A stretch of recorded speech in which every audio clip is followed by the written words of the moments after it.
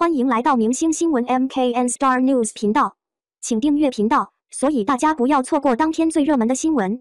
我们今天的时事通讯包括以下内容：迪丽热巴卖萌卖出新高度，穿白裙拍宣传片，点赞数超过一百三十五万。说起娱乐圈中比较会卖萌的女明星，相信很多人和我一样，脑海中会出现迪丽热巴的名字。迪丽热巴二十三岁时，在电视剧中饰演了高雯这个角色。凭借过人的卖萌技术，给观众留下了深刻的印象。此外，迪丽热巴在其他电视剧中也展示过自己的卖萌技术，也获得了不错的关注度。如今，迪丽热巴又展示自己的卖萌技术了，而且卖萌卖出了新高度。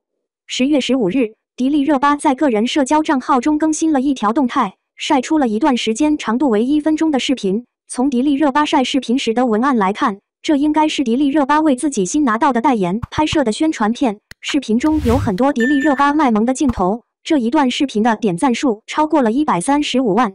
迪丽热巴拍摄这一段宣传片时，穿着一件白色的吊带裙，从这件吊带裙的款式来看，似乎就是为了卖萌而设计的。这件白色的吊带裙不仅肩带设计的比较宽，而且裙摆也设计的很蓬松，很好的提升了迪丽热巴的少女感，显得迪丽热巴萌萌哒。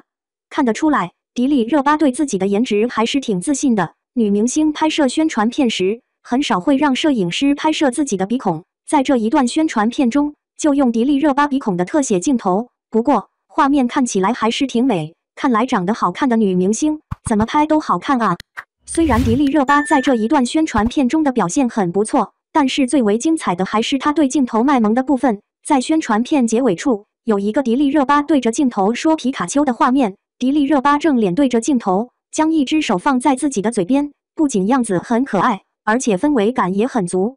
这一次，迪丽热巴卖萌能够获得这么高的点赞，也并非没有道理的。毕竟，迪丽热巴是一位人气很高的女明星。另外，迪丽热巴卖萌和其他女明星卖萌有所不同，其他女明星卖萌只是单纯的展示自己可爱的一面，而迪丽热巴卖萌时，不仅展示出了自己可爱的一面，而且在她的可爱之中还夹着一丝丝的妩媚。就拿迪丽热巴对着镜头涂唇彩的画面来说，简直就是大写的又纯又欲。